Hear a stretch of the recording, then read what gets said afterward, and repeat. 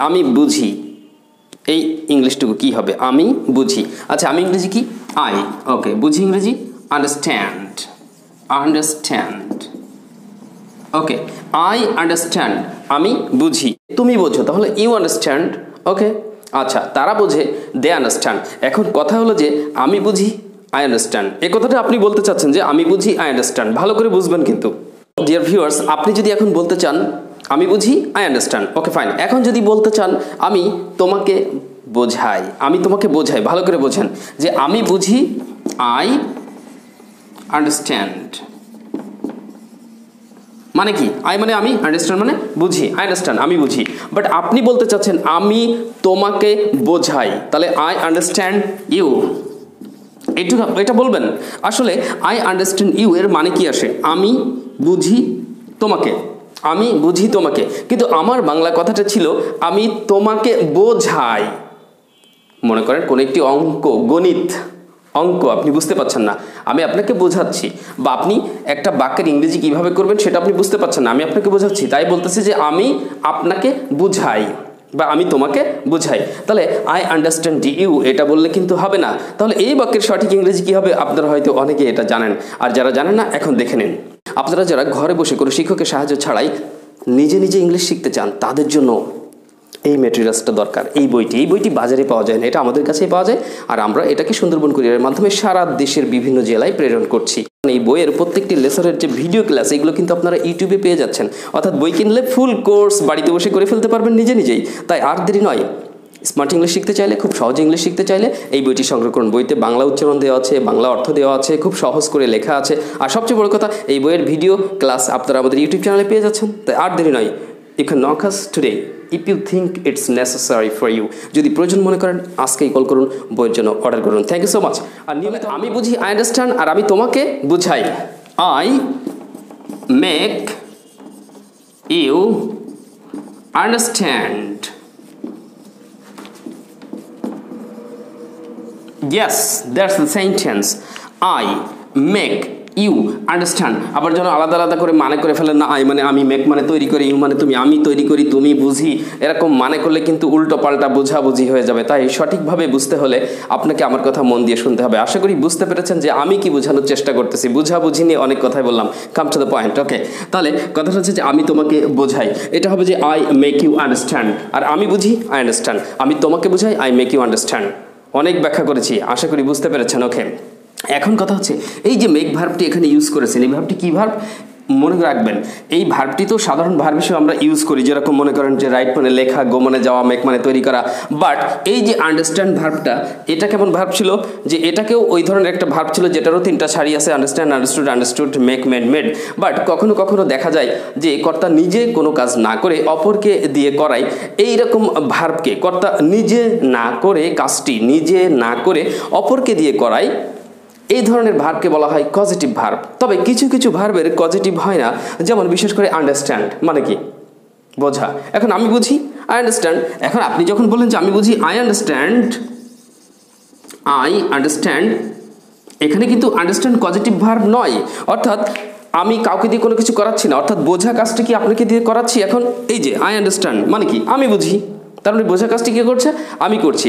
তাই এটাকে আমরা পজিটিভ ভার্ব হিসেবে ব্যবহার করতে পারছি না। পজিটিভ ভার্ব বলতে কি বুঝালাম সংক্ষেপে সহজে?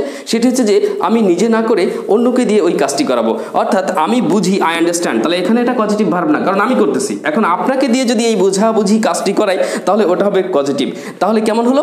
আই মেক ইউ আন্ডারস্ট্যান্ড আমি তোমাকে বোঝাই। এইবার দেখেন, এই বোঝার কাজটি কে করে? আমি? না, আপনি, ওই যে বললাম আমি তোমাকে বুঝাই, তাহলে আপনাকে যখন আমি বুঝিয়ে শুনিয়ে ব্যাপারটা আলোচনা করব, তখন এই জিনিসটা ফাইনালি বুঝবে কে? আপনি। তাহলে আপনাকে দিয়ে কাজটি করলাম। এখন এই বাক্যে এটাকে আমরা আপাতত ধরতে পারি পজিটিভ ভার্ব অর্থাৎ কাজটি, এই বোঝা কাজটি আমি না করে আপনাকে দিয়ে করালাম। I think you got it আর না বুঝলে? আলোচনার ব্যাক করেন। প্লেব্যাক বোঝেন তো, পেছন থেকে আবার যান, যে আবার আলোচনা শুনে আছেন তাহলে ক্লিয়ার হয়ে যাবে। সো এইরকম কিছু কিছু ভার্ব আছে, যে ভার্বগুলোকে সাধারণত আমরা পজিটিভ ভার্ব হিসেবে ইউজ করতে পারি না, তখন কি করতে হবে? তাহলে, যখন আপনি কোনো ভার্বকে পজিটিভ ভার্ব হিসেবে ব্যবহার করতে পারবেন না, কিছু ভার্ব আছে পজিটিভ হয়, যেমন ডিরেক্ট আমি দেখি ইংরেজি কি, বলেন। যেমন মনে করেন যে, আমি বুঝি, তাহলে কি হবে? সরি বুঝি না, বুঝাবুঝি তো হয়ে গেল। আমি দেখি আই সি এখন আমি বলতেছি যে, আমি তোমাকে দেখাই। আমি তোমাকে দেখাই অথবা আমি তাকে দেখাই। আচ্ছা আমি যখন তাকে দেখাই, আপাতত এইখানে আইসি আমি দেখি। এই জায়গায় দেখা কাজটি কে করে? আমি।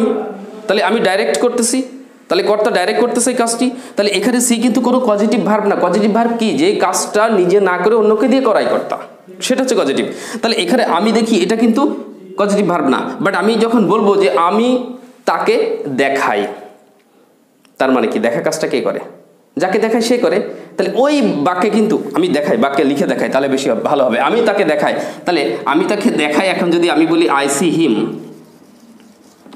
মানে কি হয়ে গেল? আমি তাকে দেখি হয়ে গেল। এই দেখেন সি মানে দেখা। আমি দেখি, আমি তাকে দেখি। কিন্তু আমি বলতেছি, আমি তাকে দেখাই। এই দেখায় যখন বলতে চাইবেন, তখন এখানে সি নয়। তখন এখানে আপনাকে S H O W I show him আমি তাকে দেখাই। তাহলে এই দেখানো কাজ, অর্থাৎ এই দেখা কাজটি আমি নিজে না করে আপনাকে দিয়ে করালাম, তোমাকে দিয়ে করালাম। তাহলে এখানে হচ্ছে শো পজিটিভ ভার্ব তাহলে আই সি আমি দেখি আই শো হিম আমি তাকে দেখাই। এখানে শো হচ্ছে পজিটিভ ভার্ব যেমনটি মনে করেন, আমি খাই। আই ইট আমি খাই আই ইট আমি তোমাকে তোমাকে খাই, আমি তার বাঘ ভাল্লুক না, যে আমি তোমাকে ধরে ধরে খাব। তাকে না, রাক্ষস না। তাহলে আমি বলব, আমি তোমাকে খাই। না, বলব যে, আমি তোমাকে খাওয়াই। তাহলে আমি তোমাকে খাওয়াই। আই ইট ইউ এটা কি হলো? আমি তোমাকে খাই আই ইটু আই ইটু এখানে দাঁড়াচ্ছে জেলে, আমি তোমাকে খাই হয়ে গেল, এখনও হয়নি। আমি তোমাকে খাওয়াই। কারণ ইট ভার্বকে আমরা কি করব? পজিটিভ ভার্ব করব। তাহলে ইট ভার্বের পজিটিভ ডিরেক্ট কিন্তু আমরা জানি, এটা অনেকেই যে feed F double E D feed I feed you আমি তোমাকে খাওয়াই। তাহলে একটা জিনিস দেখলেন যে সি মানে দেখা আর শো মানে দেখানো। তাহলে এটা হয়ে গেল পজিটিভ ভার্ব ইট মানে খাওয়া ফিড মানে খাওয়ানো, এটা হয়ে গেল পজিটিভ ভার্ব তো এরকম কিছু ভার্ব আছে যেগুলো কিন্তু ওইভাবে আলাদা করে পজিটিভ নাই। যেমনটি ওই যে একটু আগে বুঝতে পারলেন, বোঝা ইংরেজি কি? আন্ডারস্ট্যান্ড আমি বুঝি আই আন্ডারস্ট্যান্ড কিন্তু আমি তোমাকে বুঝাই। আই আন্ডারস্ট্যান্ড ইউ দিলে হচ্ছে না, বা ওকে অন্য কিছু করা যাচ্ছে না, ওর পরিবর্তে বিকল্প কোনো শব্দ নাই। বাট ওটাকে পজিটিভ ভার্ব হিসেবে ইউজ করার জন্য আপনাকে কি করতে হচ্ছে? মেক ভার্বটি ইউজ করতে হচ্ছে। তাহলে আমি তোমাকে বুঝাই আই মেক ইউ আন্ডারস্ট্যান্ড আমি তাকে বুঝাই আই মেক হিম আন্ডারস্ট্যান্ড আমি তাদেরকে বোঝাই। আই মেক দেম আন্ডারস্ট্যান্ড আমি আমার ছাত্রছাত্রীদেরকে বোঝাই। I make my students understand and I think you got it আশা করি বুঝতে পেরেছেন। তো এইরকম কখনো কখনো কিছু ভার্ব যেরকম এই যে আন্ডারস্ট্যান্ডের কথা বললাম, এই ভার্বটিকে আপনি পজিটিভ হিসেবে ব্যবহার করতে গিয়ে আপনাকে মেক ইউজ করতে হলো। এরকম আরও কিছু শব্দ আমরা কোনো কোনো ভার্বকে পজিটিভ ভার্ব হিসেবে ব্যবহার করার সময় ওই শব্দগুলোও ব্যবহার করতে পারব। চলুন এবার দেখে নেওয়া যাক সেই শব্দগুলো কি কি। কখনো কখনো কিছু ভার্ব যে ভার্বগুলিকে আমরা পজিটিভ হিসেবে ব্যবহার করতে পারি না বিকল্পভাবে, তখন সেগুলিকে পজিটিভ ভার্ব হিসেবে ব্যবহার করার জন্য ওগুলোর ক্ষেত্রে, ওগুলোর সাথে আমরা এইগুলো ব্যবহার করতে পারি। ওকে এখন আমি বললাম যে আমি তাকে দিয়ে কাজটি করাই। আই মেক হিম ওয়ার্ক এই যে আমি তাকে দিয়ে কাজটি করাই। আপনি যদি বলতে চান তাহলে হ্যাভ দিলে হবে না? হ্যাঁ। আই হ্যাভ হিম ওয়ার্ক এই মানেটাও হয়। এখন এই ব্যাপারটি যদি আপনার জানা না থাকে, তাহলে আপনার কাছে একটু আনইউজুয়াল মনে হতে পারে, অস্বাভাবিক লাগতে পারে। বাট আপনি ভালো করে দেখবেন, বিভিন্ন গ্রামার বইয়ে এইভাবে আলোচনা থাকে কিন্তু ওকে আমরাও তো বই পড়েই শিখেছি তাই আপনাদেরকে এখন টুকটাক শেখাচ্ছি, এই আর কি ওকে তাহলে আই মেক হিম ওয়ার্ক আমি তাকে দিয়ে কাজটি করাই আই হ্যাভ হিম ওয়ার্ক আমি তাকে দিয়ে কাজটি করাই। এরকমভাবে আপনি ইউজ করতে পারেন। চলুন আরও কয়েকটি উদাহরণ দেওয়া যাক। এবার মনে করেন যে আপনার একটি বই কিনতে হবে। এখন আপনি নিজে কিনবেন না, কাউকে দিয়ে হয়তো কেনাবেন, ঠিক আছে? যে আপনি ব্যস্ত মানুষ, সময় নাই, তা আপনি বলতেছেন যে আমি তাকে দিয়ে বইটি কেনাবো? ওকে, আমি তাকে দিয়ে বইটি কেনাবো। তাহলে কি বলবেন? কেনাবো? ফিউচার টেন্স উইল আই আমি তাকে দিয়ে বইটি কেনাবো। I will make him buy the book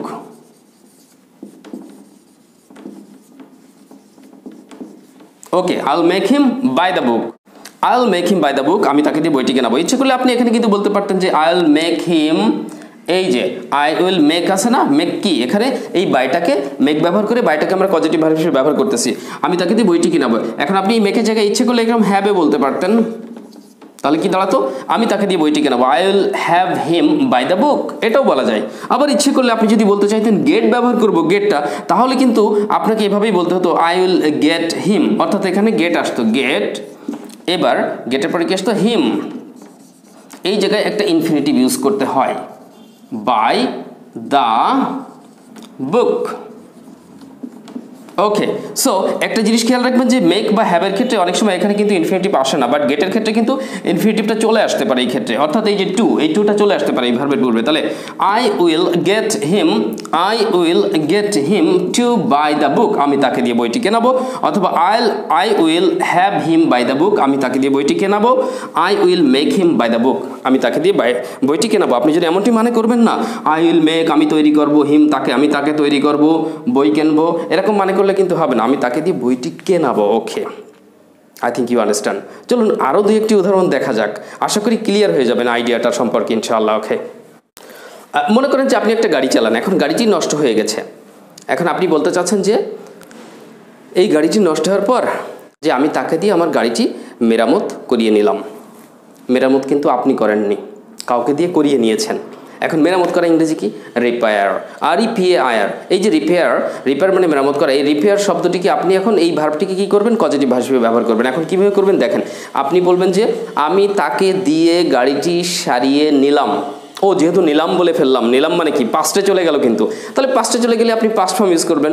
আমার বাংলা বাক্য হচ্ছে, আমি তাকে দিয়ে গাড়িটি মেরামত করিয়ে নিলাম। চলুন দেখা যাক এর ইংলিশটা কি।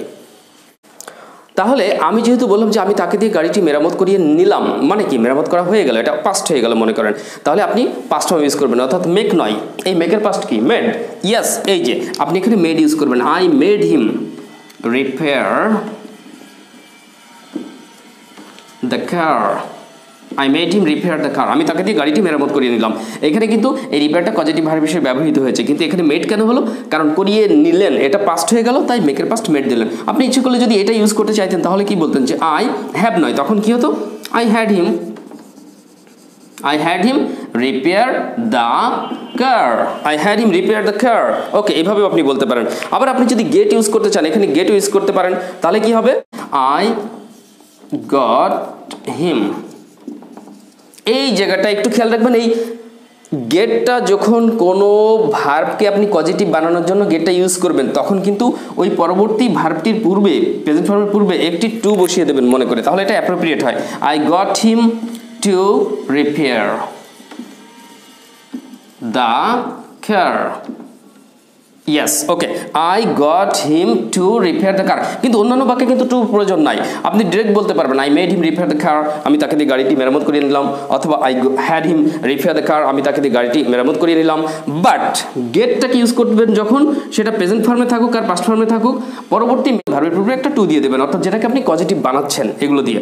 তাহলে I got him to repair the car আমি তাকে দিয়ে গাড়িটি মেরামত করিয়ে নিলাম। সো আশা করি বুঝতে পেরেছেন যে আলোচনাগুলো করলাম। যদি একটা গ্রামাটিক্যাল আলোচনা, তবে আপনারা যারা ইংরেজিতে এখন দুর্বল, যারা ভাবছেন যে আমি ইংরেজিতে ভালো দক্ষতা অর্জন করতে চাই বা মোটামুটি শিখতে চাই স্পিকিং করতে চাই, তারা আমাদের এই বিশেষ করে যেসব এই যে খুঁটিনাটি কি বিভিন্ন গ্রামাটিক্যাল বিষয় নিয়ে আলোচনা করছি এগুলোর উপর এখন কোনো বেশি প্রেশার দেওয়ার দরকার নেই, গুরুত্ব আরোপ করার দরকার নেই। আপনি প্রথমত কিছু বলা শিখুন, ভুল হোক, সঠিক হোক টেন্সের ভুল হোক গ্রামারের ভুল হোক, আপনি বলতে থাকবেন, বলতেই থাকবেন, এভাবে বলে বলে আপনার মুখটাকে চালু করুন।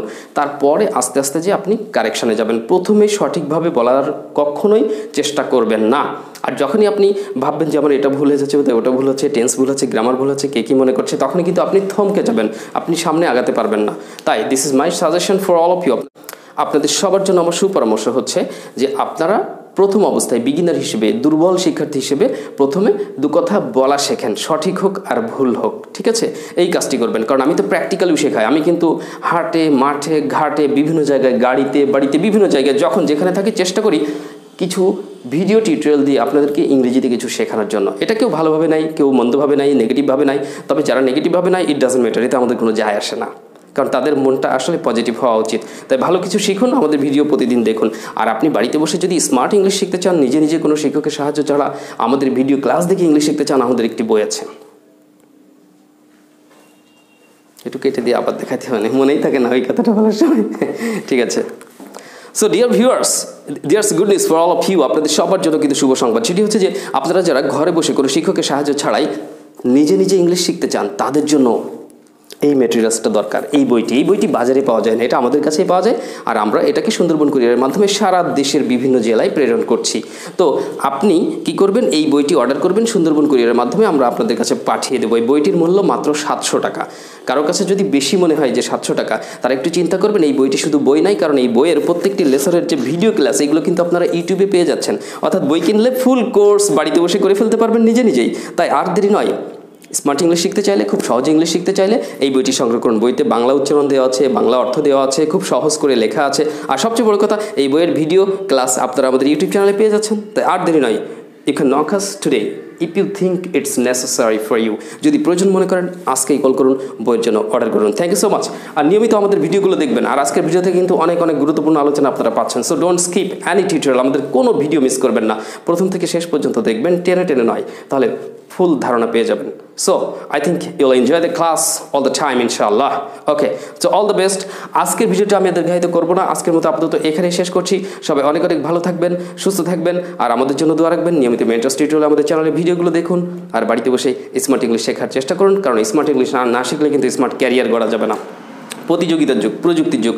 এই প্রযুক্তির যুগে আপনি প্রযুক্তি বিষয়ে প্রশিক্ষণ নেন কম্পিউটার শিখুন প্রযুক্তি বিষয়ক বিভিন্ন ট্রেনিং করুন, আর পাশাপাশি স্মার্ট ইংলিশটা শিখে রাখুন, আপনাকে পেছন ফিরে তাকাতে হবে না। তার মানে কি? আপনি সামনের দিকে আগাইতে পারবেন, উন্নতি করতে পারবেন, ইনশাআল্লাহ, আল্লাহর ইচ্ছায়। আর হ্যাঁ করোনা ভাইরাস করোনা সিচুয়েশন নিজের দিকে খেয়াল রাখবেন, সবসময় সতর্ক থাকবেন, বাইরে গেলে অবশ্যই মাস্ক ব্যবহার করতে ভুলবেন না, আর পাঁচুক্ত নামাজ কালাম করুন, নিশ্চয়ই আল্লাহর রহমত পাবেন যদি ইসলাম ধর্মের হয়ে থাকেন। তবে সবাইকে শুভকামনা জানাচ্ছি, আরও একবার, অনেক অনেক ভালো থাকবেন, সুস্থ থাকবেন all the best take care আসসালামু আলাইকুম রহমতুল্লাহ।